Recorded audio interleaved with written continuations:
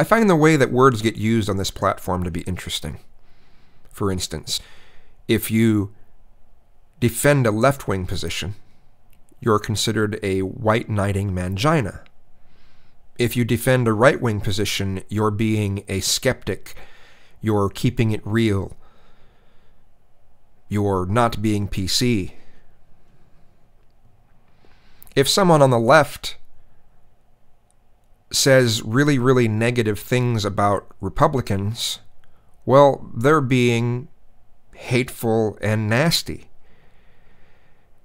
If those on the right say negative things about Democrats and left wingers, well, they're just not giving in to the PC brigade. It's interesting how that works.